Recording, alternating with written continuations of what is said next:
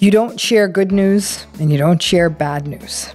That's a boundary, right? Why? Because if you share good news, they're going to mock it, minimize it, trivialize it, laugh at it, view you as a competitor, and might make them angry.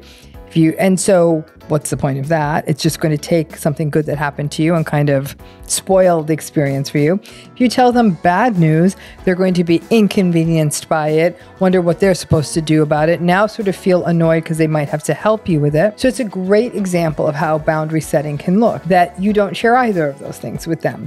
Or if you do, you do it after and only after you've shared your good news, for example, with the people in your life who are happy for you. Mm-hmm. So you take that good news and you call that best friend or you share it with that mentor, whomever it is.